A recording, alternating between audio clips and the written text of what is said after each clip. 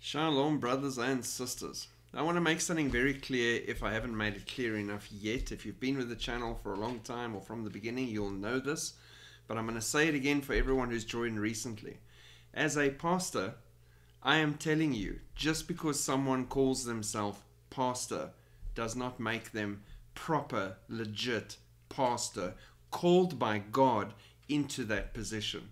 No, there are many wolves in sheep's clothing, and many just tack on the name pastor because they want that recognition and the ability to do what they need to do for evil or darkness or their own benefit. And we see that more and more and more with the horrifying stories coming out of the church right now.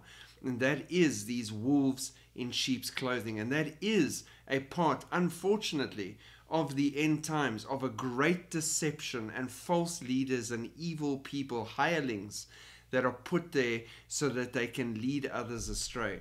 Now more than ever, we should be Bereans, we should be watching, we should hold them to a standard of what God calls people to be in ministry.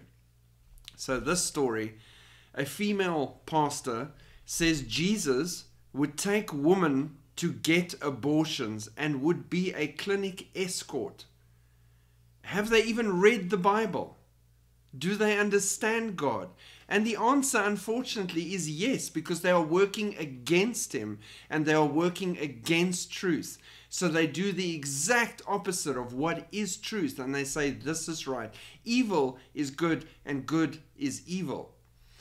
She makes the blasphemous claim that Jesus would not only condone taking the life of a baby in the womb, but would even take women to get the procedure done with a full escort. And he would lash out at anybody trying to stop people from killing babies or provide them with another option or opinion. It is truly sick and evil how dark this world has become. And I want to tell you, this is not the right Jesus. This is a false Jesus that she follows kind of like the Islamic Jesus. It is a completely different creature. It is not God. It is not the Savior. It is not Him who came down and died on the cross for your sins. It is not that same Jesus.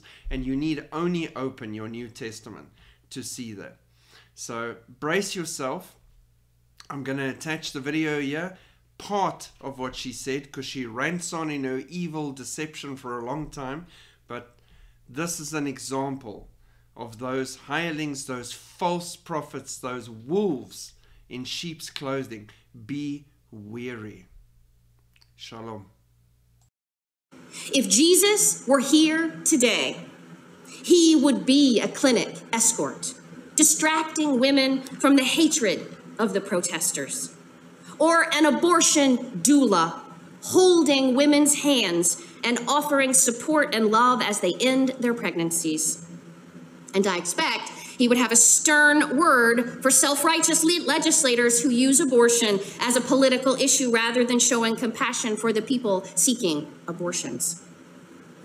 Today, on this Rose Sunday, I wanted to share some of the stories we have collected because these are the sacred stories of women's lives.